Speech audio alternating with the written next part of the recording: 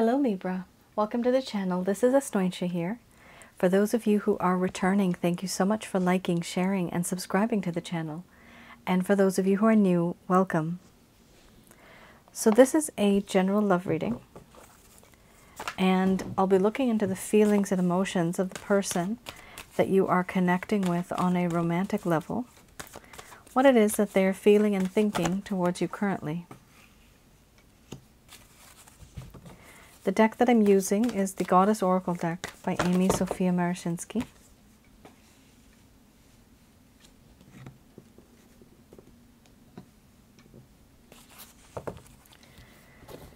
So please keep in mind that the way I read, and this particular reading, um, I am not channeling any spirit guides, positive or negative. There's no orbs in my room. Um, they wouldn't be. So just wanted to mention that the only time I do uh, call upon any beings, that is the celestial beings, archangels Michael, Raphael, Gabriel, at the end of this reading to provide you with some advice uh, that they feel is necessary to give. So I am just channeling through my higher self, and that is possible.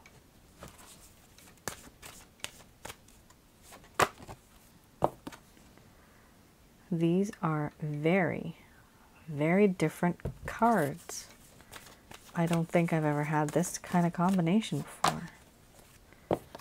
It's a very strange kind of combination. Now, these feelings and emotions are not necessarily yours. This is actually your person of interest. But because of the type of energy I'm seeing here, there's a lot of sadness. Um, and there's a couple other cards here, like wanting to have a second chance, becoming a bit wiser and making a decision plus deceit.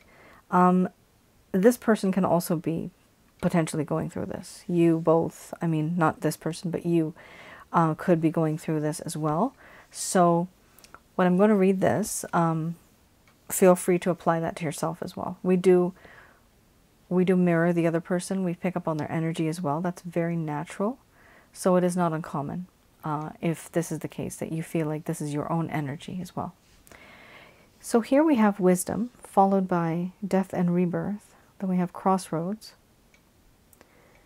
Then we have here wild woman, followed by laughter, creativity, ecstasy, grief. And then we have opening under the bottom of the deck, the overall arching theme. I'm going to express to you what it is that your person of interest is feeling towards you currently.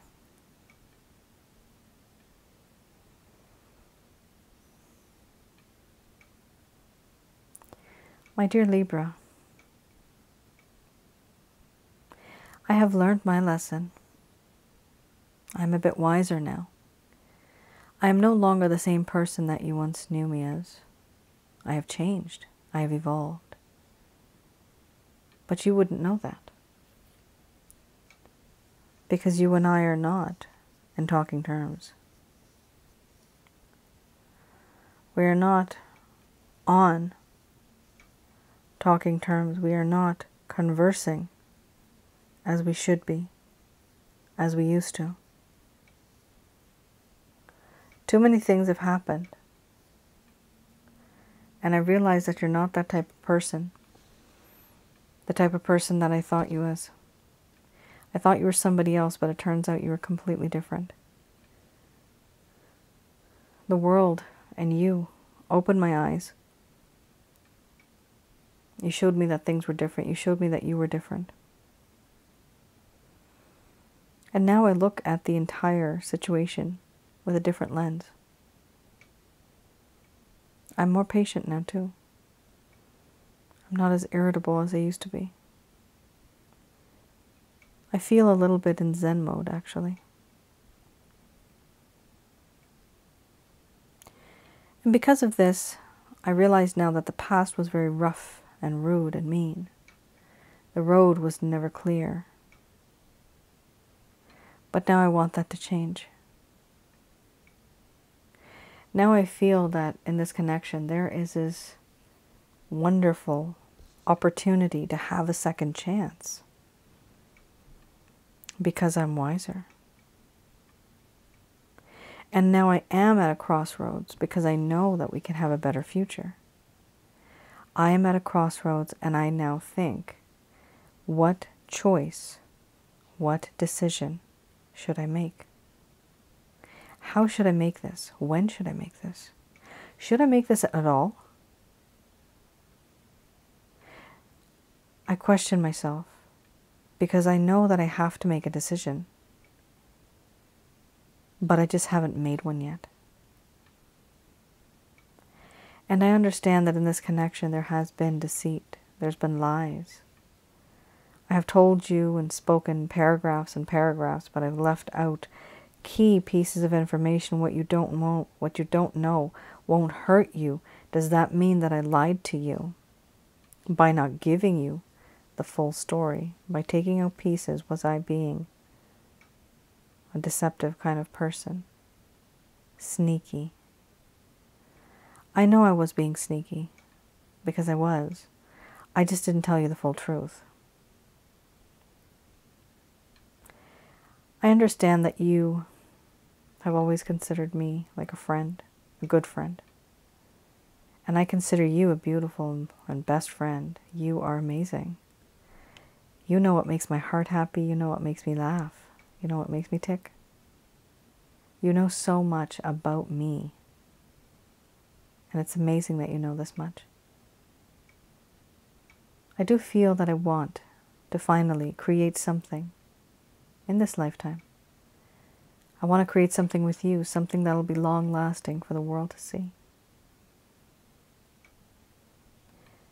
And why is that? Because there's something about you that makes me feel eternally blissful. On the inside, my soul feels happy. There's this charm that you have, this beauty, this charisma, this talent. You make it all go away, all the pain. With you, everything seems fresh, clean, innocent, new.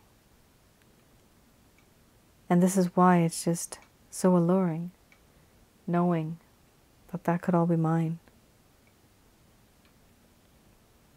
But for now, Libra, I grieve. Everything that has happened up until this point, I feel that I have screwed up. And now I feel as if I've lost you forever. There is this desire there is this understanding that this entire time I had you and now I'm losing you. And I see you fading. There is sadness and there's melancholy. I feel regret, remorse. There's this feeling of being rejected now. Overall, I feel the need now to open up to you and to talk to you about what's going on on the inside of my heart. There's so many things that have happened. And I realize now that it's important for me to open up to you. I do not want to stay closed. What's in my heart, I want it out in the open. I want to reveal to you what it is that I feel. Because I feel it's important that you also know what's inside of my heart. How do I feel? I feel that it's important that you should know.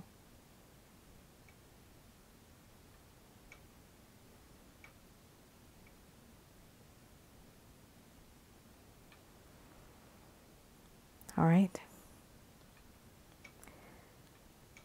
There you have it.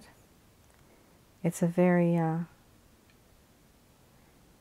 self it's like a self assessment. This person has assessed and done things in their life focusing on themselves, which is good. They are now at that point where they, they know themselves, which is great. They know themselves. And now they're just trying to get into that type of an environment where they can finally reach out to you and be with you. So this is a long story. This is actually um, so you guys have had history. There was separation. There was sadness. This person started to think a lot. And now finally when they're starting to make sense of all the problems in their life, now they realize that they want you back. Um, it might not be too late. That's okay. But I do see that this person is in that mindset now where they're no longer like indecisive. They know that you are what they want. They just don't know how to do it right now because of certain things that have happened in this connection. There's like a lack of trust, a lack of faith. And for that reason, they hesitate. All right. So let's have a look at the Lover's Path Tarot. So I usually look at that particular deck to see what it is, and I read the reversal to see what it is that happened in this connection in the first place, something that may have brought down um, this connection. Okay. Wow, one card fell right out. Seven of Staves. Then we have here the Ten of Coins. So this could be one of the many reasons why things started to go downhill in this connection between the both of you. Let's have a look at the Seven of Staves. So this does talk about how at some point in time this person started to feel very overwhelmed and they were being their own worst enemy. What they were doing was creating problems to distract themselves from what was really going on. They were being defensive, combative, and there was a lot of struggle. They were dealing with difficult people or a difficult situation. And even between the both of you, they were feeling that you were a difficult person and that your and this person's um, intentions were very much opposed. Unfortunately, it does show here that they may have let other people's problems become their own problems. That's uh, interference, but sometimes that can also be them taking it on themselves. Either way, this card does talk about feeling very overwhelmed and how this person had become their own worst enemy. They were creating problems from distracting what was really going on. So they were not really paying attention to what was going on that was um, at that point in time. Like, you know, something's imminent. There's there's something happening at that moment, and that person would not concentrate on that particular problem. Instead, they would pretend like it doesn't exist and they would be focusing on something completely unrelated and you would just wonder why is this important? Why are we having this conversation? Some of you might have felt that. Now we also have here the ten of coins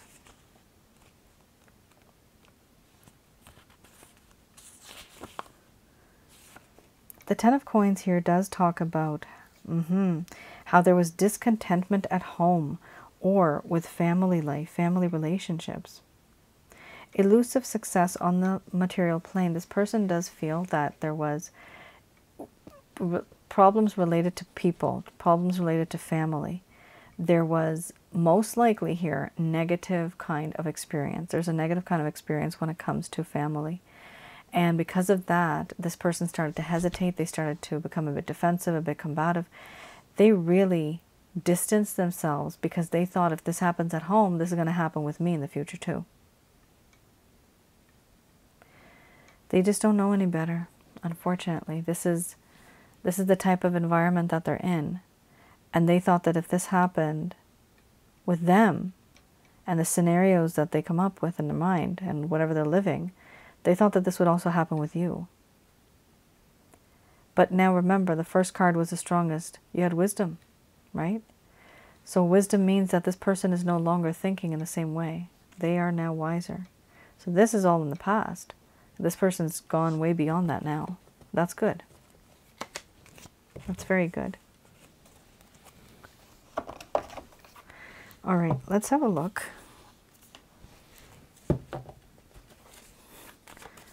Let's have a look at what hmm, is in these cards. Oh my gosh, love it, love it. Knight of Cups. Beautiful card.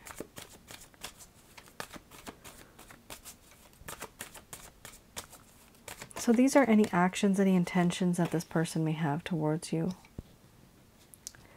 in the coming days or months. So we have here the Three of Pentacles, the Four of Cups,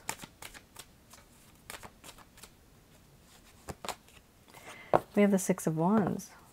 Mm-hmm. Two of Pentacles under the bottom of the deck. Not bad. We could have had a better reading, but one of the cards is absolutely beautiful. Both of them, actually. Um, Knight of Cups, and then we have the Six of Wands. This talks about a return from the past, somebody who you loved, somebody who you have a romantic connection with that was in your past, that was gone for a while, is going to be returning, Libra. Yes. So we have here the Knight of Cups. This person will be returning in a very soft, gentle kind of manner. They are um, they're they're coming back not in a rush. They don't want to rush things because they feel that it'll be they want things to happen naturally and gradually. So what's what I like about this is that they're very soft and gentle about it. They're going to approach you in a very soft and gentle way. They're not aggressive, they're not rough, they're not mean. Um, it's going to be a very gentle kind of, um, I guess you can say, approach from this particular individual. We also have here the Three of Pentacles. Now, this does talk about some of you might have actually worked with this person, maybe you still do.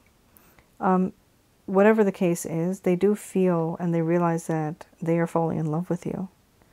And just the fact that you have the Knight of Cups coming back into your life, I mean, this person is in love. Um, if you don't actually work with this person, it does not matter. This could also be interpreted as somebody who knows um, how to manifest and how to do certain things um, to bring the relationship together. So there may be more than two people in this connection. However, this person wants to be an extreme special person uh, where they can manifest and they can construct and they can build this relationship with this person. So there may there could be possibly three people, but this person wants to just focus on you. Now, why is that? Because of the next card, the Four of Cups. They are completely, completely depressed. And there's levels of depression that are different. We know that. Um, but this person's very sad because they feel like they've missed an opportunity. They feel like an opportunity was given. They didn't take it for, um, they didn't, they took it, sorry, for granted. They didn't take advantage of it. They're feeling left out. And they feel they, they're not seeing the things that are in front of them, the opportunities that are still there. Instead, they're dwelling on the past. And unfortunately, that does not help with progression. But eventually, I do see here this person will recover from the type of feelings and emotions that they're suffering from. And what clarifies all of that is the next card, the Six of Wands. So, yes, this person had problems in the past there was distance. However, what we see here now is that this person is going to, and they are willing to, and they want to, reach out and come back into your life in a very victorious kind of manner. Because they felt that they had lost you. But now, when they want, when, when they want to come back into your life, they're going to try to be that type of person who can win your heart. Victory. They want victory. Now, under the bottom of the deck, the overall arching theme we have here is the Two of Pentacles. Now, typically, the Two of Pentacles does talk about juggling, talks about uh, trying to create a better balance. But in this connection, I also see that the balance may be for several like reasons. Um, this person might not have time, energy, effort to give to you because maybe they're working somewhere else. Maybe they're taking care of a loved one who's sick. There's a variety of reasons why people do what they do. So, for this reason, not everybody will want to dedicate their time to you because they have no time. People usually want to just dedicate a whole bunch of time to the person that they love. 100%. But if they're only going to give you a small portion, 30% for example, then they feel themselves that, you know what, it's not worth it because it's not fair to you. This is talking about somebody who's eventually, they could be unreliable, that, you know, even though we know each other, etc., etc., I promised you this, but then I didn't give this to you, I didn't promise on, I, I, I broke my promise. Um, certain things like that, and this happens because somebody's not able to give you that time, energy, and effort that you deserve because they are overwhelmed already. They've taken on too much for now. Eventually, when one or two of those tasks or responsibilities has faded, then they can take on this new challenge, which would be yourself. Um, for them, it's a challenge because they want to come back into your life. And that's the thing. Like, already being in your life is easy, but then when somebody has extinguished that fire and when that flame is gone, reigniting it is very, very difficult. That's not easy. This person is going to try, they're going to try their best. All right. Let's have a look.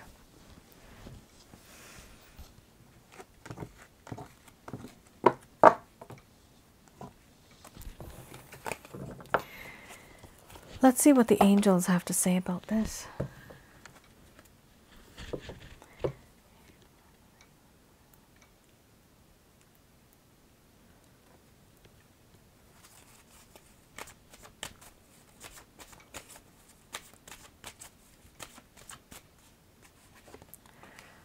All right, we have here don't stop. So don't stop giving and receiving love. That's very good. Um, some of you may have been discouraged to the point where you just kind of wanted to give up.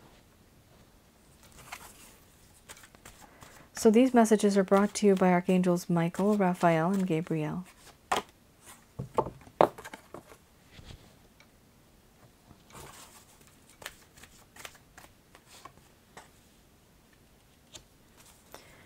Okay.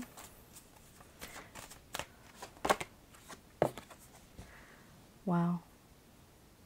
You have two cards here that are very important that talk about people, help from people. You got both cards in this deck. There's only two. You got both cards here. So that's pretty amazing. This definitely talks about you consulting and talking to people about this connection. Oh my goodness. Then you have this gorgeous card, romance. This is a spiritually based connection for sure. Then we have here also, there's something better. So here, the first card is the strongest. We have here, don't stop. Now, when I interpret this card, I have seen it many times where I have sensed that it's important for you not to stop that positive flow of energy. So don't stop giving, don't stop receiving love. Because the more open you are, the more things will come to you. If you're closed, the universe and energies will know that they can't approach you. They are saying here if you believe, then things will also turn out right for you because you will be manifesting and sending that positive vibration out into the universe and it will attract positive energy. We also have here in the near future. So in the near future, there will be success. There's some type of good news that's going to occur. I'm very happy to hear this. And it'll it'll happen in the near future. It could be, maybe in the far future, but since it says near, let's just stick to that. Now this is interesting. You have here ask for help from others, and then you have helpful people. So this is really good. This is good that it shows that you have um, a network of friends or a network of people who actually care about you. They actually want to help you and make sure that you are healthy and happy and that you know um, what it is that you're getting into. So talk to a doctor, a therapist, a friend, a best friend, um, somebody who you trust, a family member, about whatever is bothering you in this connection. Talk to somebody who has been there, done that. They have experience in relationships. They know what to, um, you know, how to view the relationship. Hopefully, if they had a successful relationship, they can give you that successful, happy, good advice. Because um, if you go to miserable people, they will give you miserable answers. That happens all the time. A person gets heartbroken, they get jaded. All of a sudden, all men or all women are terrible creatures. I hate men.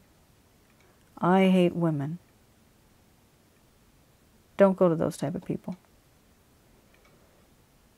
Those type of people are not the type of people that are going to be giving you advice because that's bias. That is them judging based on their own life and their own problems. What they need to do is talk to somebody else and get over that. Because people go through a lot of crazy stuff in life, right? There's many terrible things that happen. It's unforgivable. But it doesn't mean that an entire gender is plagued with that same that same tainted reputation. You don't do that. That's not fair. So be very careful who you trust. Be very careful who you tell your story to. Ultimately, you're supposed to have a couple of people in your life. They're going to be very helpful and they will genuinely with the you know with their heart they will try to be there for you and they're going to try to help you. And I see here with the second card, helpful people, some of you don't even know that you have certain type of people. It could be your cousins. It could be, you know, your friend. Um, you don't know that you have certain people in your life who actually genuinely care about you. But that only happens if you decide to talk, if you decide to approach. The reason also why is because you will be gaining new information from other people and you'll get a better perspective. So you'll become wiser, even though you're already wise. You don't have to depend on somebody else's, um, oh, sorry, you don't actually have to depend on your own wisdom reaching that point. Somebody else might already have that wisdom and just share it with you. So do talk to people. Do read resources online. Go to YouTube. Learn more about relationships, about communication, about red flags. Read books on this kind of topic. Those are also created by helpful people, just to let you know. Helpful people have created those type of resources. So it's not necessarily that you face-to-face -face speak to somebody. It doesn't have to be. You could simply just try to learn what have you done in this connection? How could you fix it? And why is this person behaving this way? Sometimes you can get those answers. Now here we also have romance. So this is simply just indicating that in this connection, yes, it is a spiritually based connection. And the one thing about this card is that it is definitely indicating a soulmate, twin flame, or karmic partner relationship. However, Libra, from what I've seen in all of my readings, it's not necessary that everybody gets together that has a soulmate connection or twin flame connection, even a karmic partner connection. Sometimes it just doesn't work out because we're only here on planet Earth as souls within the body that has a spirit. We are here um, as two separate beings, but we're here to learn a lesson. We're here to teach people about love. So this is something I just wanted to mention that there is an actual difference here when you when you think about it. There is a difference between this type of a mindset versus actual practical um, emotionally and spiritually, the both of you are great. Physically, however, there is probably an issue here that's occurring. And we also have here, there's something better. Now, I have seen with this card, there's something better actually does mean to expect the unexpected because something that you did not expect to happen is going to happen and it's going to make your heart very happy. So there's something better than the situation. It could even be there's something better than this person. It could be. I've seen that happen too. My dear Libra, that is your reading. I hope I was able to provide you with some clarity and some guidance in your situation. Do let me know in the comments below if any of this resonated with you. And I also wanted to just quickly announce that currently I'm still taking on love readings. The love readings I have right now that are available are only a written report, but it does provide you with the most amount of clarity possible. And I have their um, different sections. So one of the sections, for example, in the beginning, I um, I look into the feelings and emotions of the person that you're connecting with, just like when I do here. And afterwards, I look at the the challenges, any type of obstacles or concerns or issues that are causing the problem between the both of you, uh, what that person views. So according to that, then you'd be able to make um, or take any action according to those type of feelings and emotions. Then I also have a section there where I talk about any type of hidden feelings and emotions that this person has, that they're they're hidden, like they're just not sharing it with you. So um, when you are able to assess all of that, I have the rest of the reading is a self-assessment. So you question yourself and then you, you know, you see, you know, do you want to be with this person? Do you want to move on from this person? Do you want to wait for this person? It'll give you a better understanding of where you stand so that you can actually make a decision and not waste time. Time is important, right? Memories, building memories is important. And that's your reading, Libra. Um, before you place an order, please read the description so that you feel that that is exactly, and you know that that is exactly what you want. Um, it is, I have detailed information on it, so it would be um, helpful. And um, the cards that I've interpreted, it's all my um, interpretation. They are, if not longer, than how I um, speak um, in these readings online. But um, it will prove uh, helpful and useful. So I have gotten good feedback from a lot of people, so I'm really happy that um, it's helping a lot of people. And sometimes just to give you know yourself a little bit of reassurance, you know, where do I stand? What is this person feeling for me? Um, I've tried to create this method so that I can help the most amount of people as I can. All right then. Libra, you take care, stay safe, and I will see you guys again. Bye now.